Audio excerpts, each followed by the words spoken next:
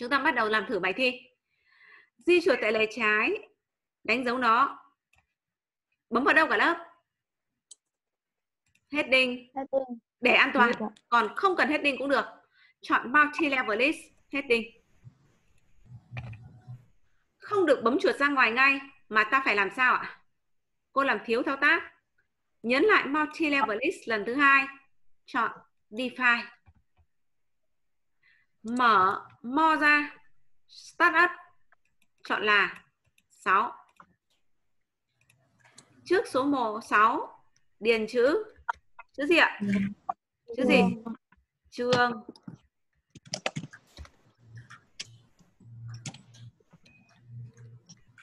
Đằng sau số 6 điền dấu 2 chấm. hai chấm Kích level 2 phía đằng sau 6.1 điền dấu chấm. Kích level 3 đằng sau 6.1.1 điền dấu chấm. Ờ, follow number with chọn cái gì? Chọn cái gì? đâu Space. Space. bay Ok. Quan sát lại. Define. Các em nhìn nhé, khi chọn space mà thấy nó không khoảng cách chắc chắn là nó đang chưa nhận. Chúng ta phải kiểm tra lại lần nữa để đảm bảo rằng đằng sau cái này, chúng ta nhớ đó là chọn space khoảng cách. Level 1 đằng sau đó phải chọn space. Level 2 cũng space. Level 3 cũng space nếu mình không muốn tắt. Thường level 1 chúng ta sẽ chọn space. Ok. Bước tiếp theo, mở hộp thoại style. Kích chuột phải heading 1 modify phông chữ. Đậm. Size 16 automatic color. Format. Phông. Chọn on caps và nhớ là phải chọn cả canh giữa nữa. Chương nó thường nằm ở giữa. Ok. Nó tự động đẩy sang trang thứ hai. Cũng không sao. Kệ nó. Tiếp theo kích chuột phải tới heading 2 modify.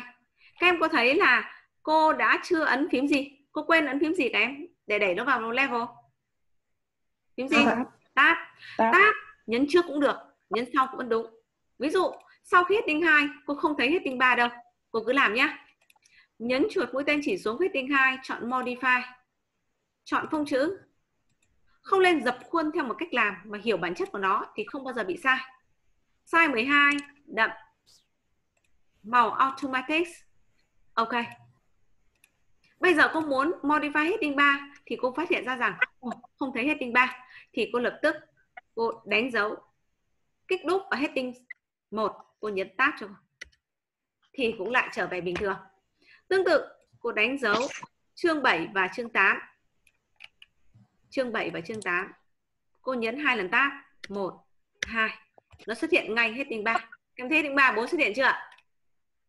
Tương tự như vậy, hết heading 7 cô để, cô đánh dấu nó, cô nhấn một lần tab thì là xuất hiện 6.2 chương 8 cô kích đúc cô nhấn một lần tab thì xuất hiện là 7.1 và tiếp tục nữa, ở đây, cô sẽ nhấn hai lần tab khi đánh dấu chương 8 và chương 9 1 2 kích đúp lại lần nữa, nhấn một lần thì nó vẫn bình thường và vẫn trở về văn bản lúc đầu. Không có cái gì thay đổi cả. Nào ta lại tiếp tục. Kích chuột phải heading 3 modify. Nghiêng, phông chữ, size 12 nghiêng và automatic ok. Xong cả rồi. Các em nhớ, nó lại đẩy lên trang thứ hai. Nó muốn ở trang 1 hay ở trang 2 chúng ta không quan tâm. Bây giờ bắt đầu ngắt trang. Nhìn lại bài tập. Chúng ta quan sát lại để nhớ lại cách làm, nhớ lại cái số trang mà chúng ta định làm. 6 ở trang 2 6.1 trang 3 6.1.1 trang 4 7 trang 5 7.1 trang 6 7.1.1 trang 7 ok, chúng ta bắt đầu làm tiếp. Nào, đặt con trỏ trước chữ video, chúng ta nhấn Ctrl Enter sang trang 2 luôn luôn quan sát thanh trạng thái để ngắt số trang đúng vị trí đặt con trỏ ở 6.1.1 nhấn Ctrl Enter sang trang 3 Trang 4 là phần nào nhỉ các em? 6.1.1 6.1.1 lại Control Enter lần nữa. Thế chương 3 là phần nào? Trang 3. Trang 3 không có ạ. Rồi, tiếp tục. Không có, không sao. Đặt con trỏ Chương 5 ở chương trước 7 chương 7. Cô nhấn chương 7 trang mấy? Chương 5 trang Control Enter trang 5. 7.1.1 ở trang mấy? Chương 7 7.1.1 chương 7 Trang 7. Control Enter. Control Enter. Vừa làm vừa quan sát thanh trạng thái. Xong chưa? Bây giờ nhấn Control Home về đầu. Hoặc Control Function Home. Bước tiếp theo có phải làm gì? Em? Bật gì ạ? Bật gì? Cái gì? Reference. Không, bấm vào bật ký hiệu đoạn để đặt con trỏ ở đây. Đầu tiên, bấm vào Reference, chọn Table Content, chọn Custom Table Content và chọn Modify. Top 1, đậm, Automatic. Ok. Top 2, Modify, đậm, nghiêng, màu Automatic. Ok. Top 3, Modify, nghiêng, Automatic. Ok. Ok. Ok. Như vậy cô đã kết thúc bài thi. Và cô trả về văn bản lúc đầu bằng cách bấm vào tab home, bỏ ký hiệu đoạn, tắt khẩu thoại style. Chúng ta thấy chúng ta đã có một lục tự động theo đúng yêu cầu đề bài.